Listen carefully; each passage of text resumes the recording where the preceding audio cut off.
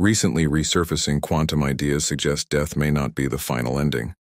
Some physicists claim our perception shapes reality more than matter does. When an observer watches the universe, reality shifts, flickers, and rearranges. This principle whispers something unsettling about life itself. What if death is only a boundary our minds create for comfort?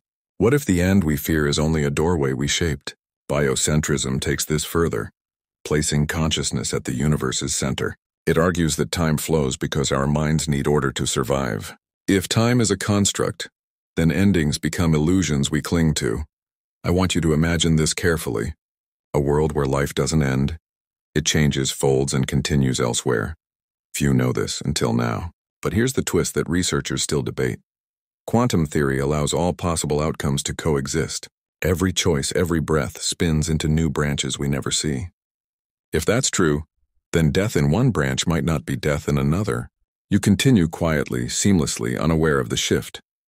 Some call this the many worlds echo of immortality. Others say it's proof that consciousness isn't trapped to one timeline. And there's something else. When particles are observed, they behave differently, almost intelligently. They wait for us, then decide what they should become. If matter responds to observation, what does that say about consciousness?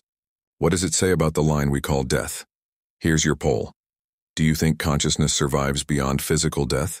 Or is it all a beautiful illusion shaped by quantum rules? Because this question carries a final mystery. If the universe depends on us to exist, then what happens when we close our eyes for the last time? Few know this until now. What's your take?